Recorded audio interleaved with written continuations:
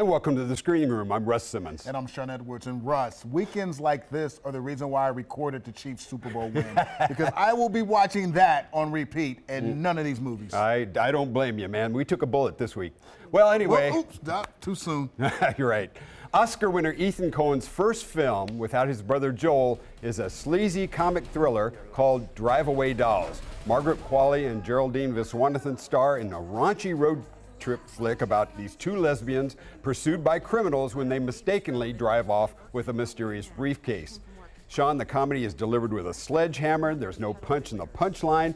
The term decadent is too weak for a vulgar mess like this. Yeah, I'm going to have to uh, agree with you. I know we're supposed to debate, but uh, you, you, said everything correctly. And Ethan, he desperately needs his brother. I mean, this film is lazy, it's uninspired filmmaking, it's a weak story, it, it's so uninteresting.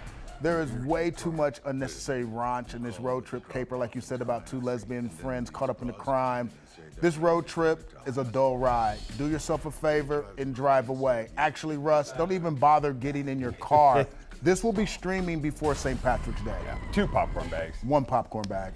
Now, two time Oscar winner Hilary Swank stars in the family friendly drama Ordinary Angels. It tells the inspirational true story of an alcoholic hairdresser who seeks redemption by rallying her Kentucky community to help with a child who's in desperate need of a liver transplant. That's nice. Yeah, it, it has a lot of familiar notes, but on the other hand, it may well evoke a tear or two. Maybe, maybe. Like you said, Ordinary Angels is an inspiring and moving movie. Now, Hilary Swank does explore new territory as an actress, playing the alcoholic hairdresser, and she effectively adds some gravitas to this faith-based story based on actual events.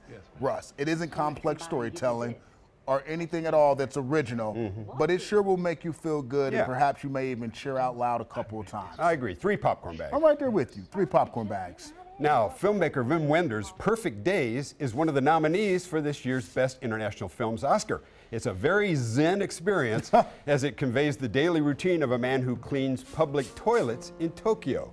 Koji Yakusho won the Best Actor prize at the Cannes Film Fest for this nearly silent performance. It's very slow moving, but patient viewers may succumb to its understated charms. Yeah, once again, you're correct. Um, it's a film that has moments of brilliance, but also moments of nothingness. Yeah. It, it takes the audience on a very simple and often glib journey. At times, it felt like a documentary. This is not for everyone, but it's a surprisingly joyful experience if you like taking cinematic risks. Gotcha. Three popcorn bags. I agree. Three popcorn bags. You can see all of our reviews and interviews with Hollywood's biggest stars at fox4kc.com slash screening room. Or you can go to our YouTube page or go